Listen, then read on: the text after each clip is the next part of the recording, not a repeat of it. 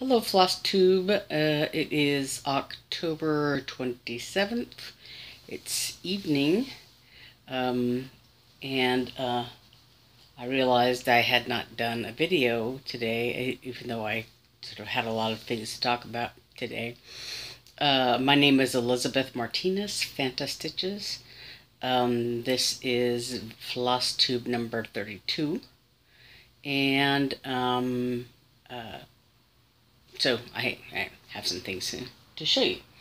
Um, I, as I had mentioned last week, I finished my uh, my design for Come Thou Fount, uh, so that is set aside. I have some finishing ideas, and um, one of the things I did at I spent a lot of money at Joann's this, uh, I guess last last weekend, last Sunday, and um, I bought a, a a piece of canvas that I might use. I I have some ideas to use to uh, to mount my design on that uh, rather than on a you know you know putting it in a frame or whatever.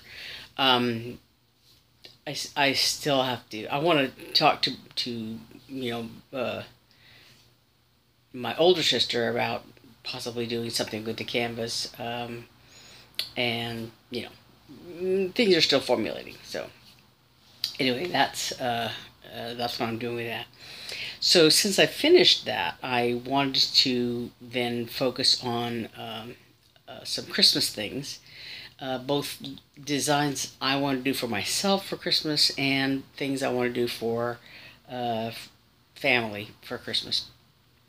And um, so I have a bunch of things.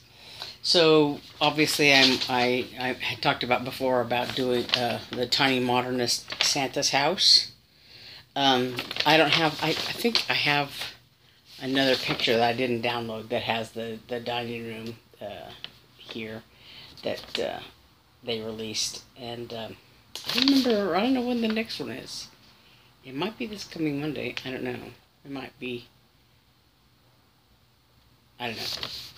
Anyway, so I I I didn't realize when I spoke last time that this they had the the center of the design here um, already charted out. So I started in this center and I had done uh, this so far. Um, and this is the fabric that I tea dyed. Uh, it's even weave. Um, but so yeah, so this is uh, the center of that design and this is this will be the dining room here. So I've uh, I've gotten this far and I um, I still have some thread so I think I'm gonna uh, oops continue up the middle and uh, I think I'm right here. And I'm gonna finish this off so that uh, this double center uh, line is finished. And because yeah, I still have, I have these in the chart, but, but anyway, then I have this. Uh, I might go ahead and start on the dining room, or I might do the, some of the designs that are on the outside of the house, um, over here on the roof or something. I don't know. I don't know. Um, but so far, yeah, I just started the outline to outline the center of the house. But anyway, this is Santa's house. And I talked about my decision roulette thing, and I've since uh, uh, edited that a little bit. So I have three separate roulette wheels. I have one for my Christmas projects, one for my other WIPs uh, that are non-Christmas related, like Daily Walk in the Woods, the Piano Cat thing, and some others. And then uh, the third roulette is something else oh, new start. Um, but uh, uh with one exception that's going to be, well, or maybe, I don't know, maybe a couple of uh, exceptions.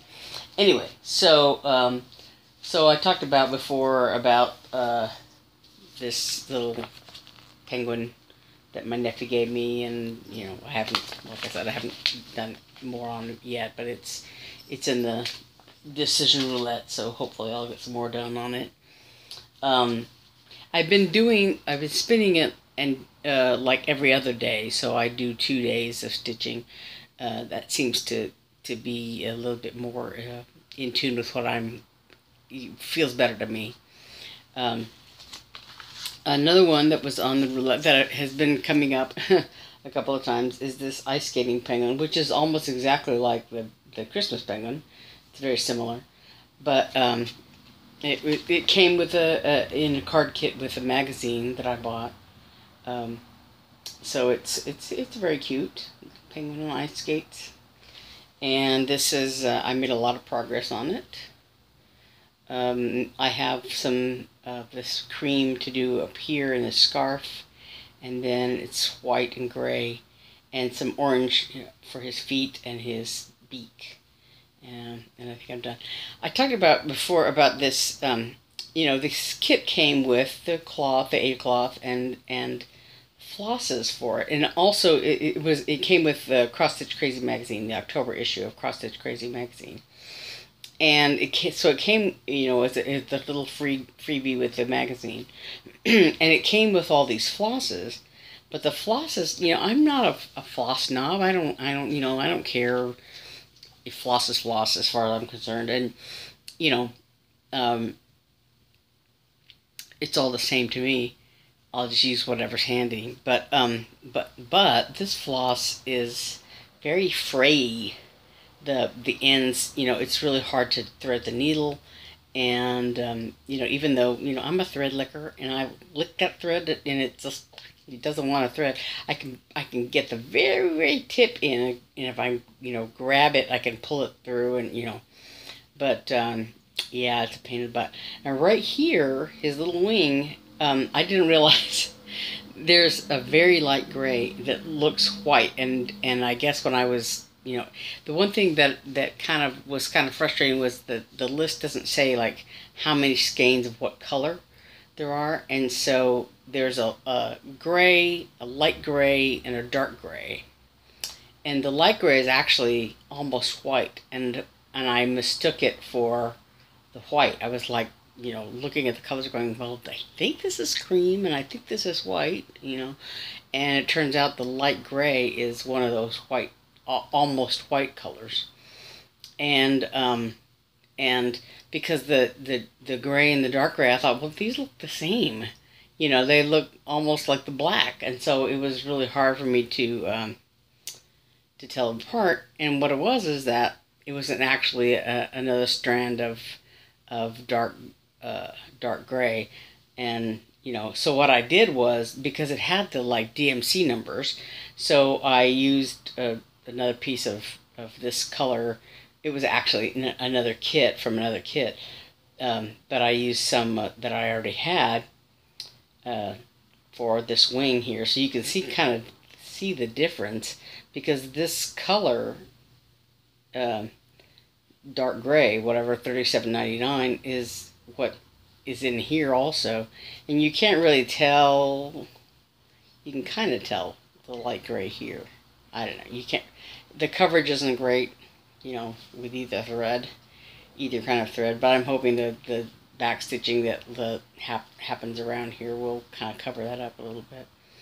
But anyway, so yeah, I have a little bit of cream to do here, and then white, and then light gray uh, uh, to finish them off, and then some back stitching, and then the orange, of course. I haven't done that yet. Anyway, he's almost done. Um, and then also on the uh, what I decided would be my new my high tea start um, for uh, the end of this month for October is this poor little uh, uh, Six Fat Men uh, thing, Snow Fun. Um, yeah, uh, Lizzie Kate.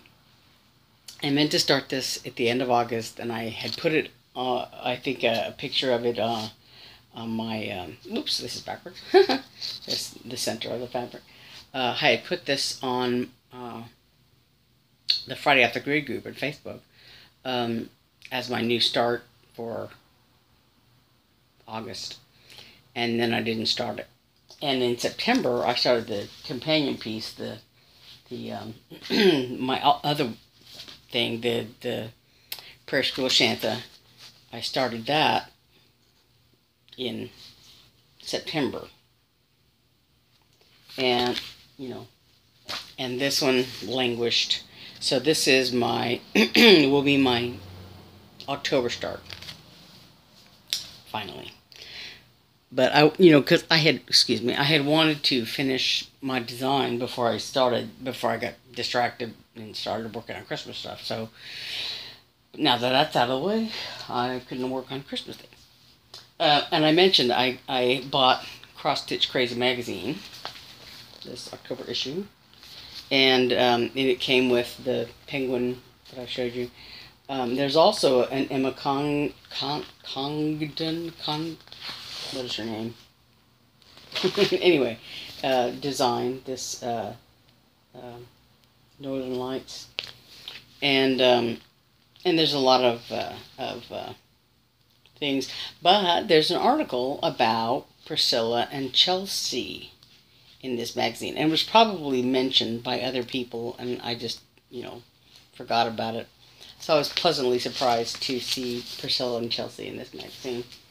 Um, but yeah, so this this is, it, has got a lot of uh, good designs. I like this um, this little skeleton cat right there too. That's very cute. I'm not really a, a big, you know, the, I'm not really into the sugar skulls and the Day of the Dead and all that stuff, but I really like this little skeleton cat. Uh, but, uh, so yeah, so there's a lot of good designs. These little, there's some little Halloween designs in there that are kind of cute.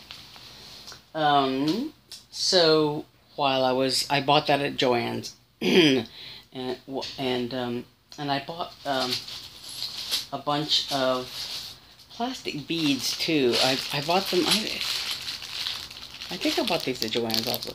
They're you know they're colorful little plastic beads, little little uh, zoo animals. There's a rhinoceros and a lion and a giraffe and some elephant. And I bought it really for the elephants. So and I pulled out all the elephants, and I don't know that I'll use all of them. I probably use just one or two, but.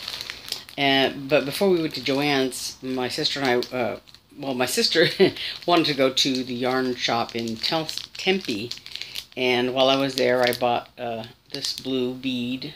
And you can see it. Yeah, it's blue. This bead, and this little Eiffel Tower charm. And then at Joann's, I bought this oops, upside down. This elephant charm. And I'm probably going to use, and I and I'm probably, oh, excuse me, uh, and I bought some little lobster claw. Uh, pin, I, I mean, little finding. And I'm probably going to make um, a scissor, uh, scissor, a couple of scissor fobs, um, and uh, uh, a zipper pull or two uh, for for uh, one uh, a couple of my bags. And then the other thing I bought, um, I bought, I talked about how I wanted to do a white buffalo design of some kind for my brother uh, because of he calls his van the White Buffalo, and um, they had this little this little kit um, uh, with bookmarks, and so it comes with like I want to say eight uh, brown and white and black bookmarks. I'll probably use the black one because I want to do a white uh, design, and I kind of looked around and. And I saw one design, but then I couldn't find it again, so I don't know what it was.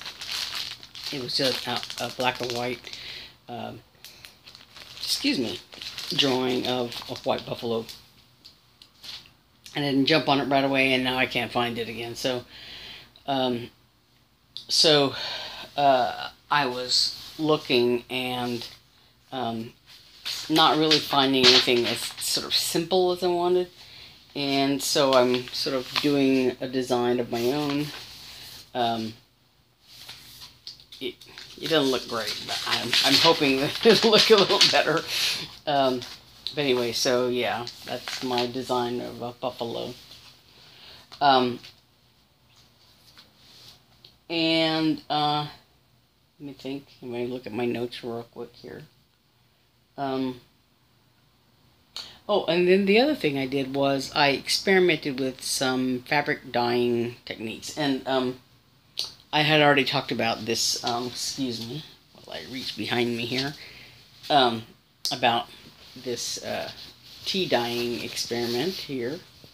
um, that I had done for this uh, the Santa's house thing. This is uh, uh, even weave, um, but uh, yeah. So I had had tea dyed this uh, fabric, and it's you know it's it came out okay. It came out okay, um, but so I uh, I did a few other things.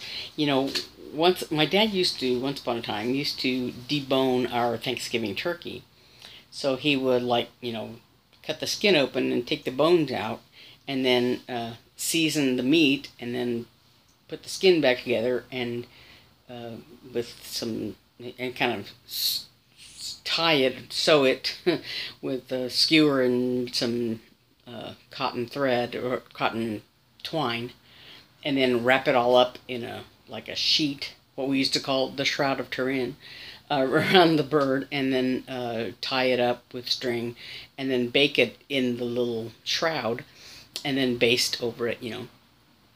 So when you took it out of the oven and cut the string, cut the fabric open and everything, uh, the meat was like in a like a loaf, and you just cut it with a electric knife. You know, we, we cut it, and it would just cut it like a loaf.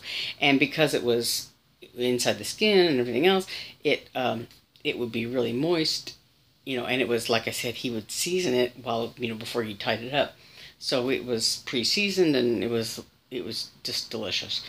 But one year he put a little too much sage inside there, and the the meat turned kind of green. It was very kind of green. It, was it tasted fine, but it was green. It was weird. But anyway, so that got me thinking. Hmm, maybe I should try the sage uh, idea. And so, uh, so this was white. Um, you can't really tell, but it's a, uh, it's, it's. Uh, I used sage, uh, and did I put? I think. I don't know if I put any other spices in there, but um, I used sage, and I might try adding a little bit more, uh, a little bit more to the. Um, it's a small piece, but um, yeah. I used sage to dye this. So it has a little bit of a slight, barely greenish cast to it. And I used tea. This is white. I had, like I said, a lot of white and antique white. So this is just linen um, that I, I, I tea dyed this. Um, and and this was coffee dyed. This is even weave. This is dyed with coffee. These are kind of this um just slight minor variations on the same shade. And this was tea um, with with blackberries, and I had kind of wished the blackberries when I first put them in there. Um, they they put some nice red stains in there, but um, but then they seem to have like all kind of, you know, kind of washed out. There weren't very many of, of them. The blackberries weren't, there weren't very many. But so, I don't know. There might be a little bit of staining right here from the blackberries. Um, but not as much as I would have liked. But, you know, basically it came out okay. Um, anyway, so I want to, as I, I had mentioned on the uh, Facebook post I did, I think, that, um, you know, I want to do more uh, experimenting with blueberries and blackberries, but I hate to use to waste them, waste them, use them for dyeing when you know they're so good for eating. So I don't know, but anyway. So also while I was at Joann's, I bought some more fabric because I want to continue my dyeing experiments Maybe I maybe I'll buy some Rit dye. I haven't you know done that either because you know know. But um, so this is 32 count linen. It's basically white, just white, and uh, 28 count even weave, and this is um, antique white, and this is white uh, DMC Charles Craft, yeah, uh, 28 count even weave also white, just begging to be dyed a different color. anyway, so I think that is all uh, I want to talk about. Um, also, I think in my Christmas roulette, my Christmas project roulette uh, wheel is my is that little wooden medallion I did. I don't know where it is now. Uh, that I did for my nephew. That I started for my nephew uh, for his birthday. That I didn't finish. Um, but uh, uh, I didn't finish it because uh, of the difficulty in stitching it, and I kind of have an idea I might um, do a, a, some knotting on the back, even though you're not supposed to knot things, um, just so that, um, or I, I might do the, you know, stick it into the thread a little differently and see if I can uh, make it work because that was what I had difficulty with. I bro- actually broke a needle trying to to to get uh, to um, go underneath uh, another thread because the wooden medallion thing doesn't have any give. Anyway, so uh, but that's uh, on my Christmas project list to work on also. I just have to find it because I don't know what I did with it. I, I put it away somewhere. Anyway, um, um, I think that's everything. Uh, so it's uh, I did a lot of laundry today, and uh, I slept late, and know everything else. So that's why this is I did this recording this in the evening, uh, rather than this morning. I think that's everything. So uh, once again, I'm Elizabeth Martinez, uh, Phantastitches. Um, you can find me on Instagram as phantagrae and uh, on Facebook in the Friday Off the Grid group as Elizabeth Martinez. Um, uh, was I going to say? Oh, I just want to say uh, welcome back to my subscribers. I didn't mention this at the beginning, and you know, thank you to anybody. Thank you for watching. To anybody who's uh, new uh, to this channel, and I hope you would subscribe and um, continue watching. Um, and I think that's everything. And I will see you all next time. Thanks. Bye.